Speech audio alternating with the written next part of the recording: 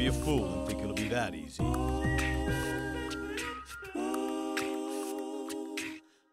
Sorry, cat. Sorry, cat.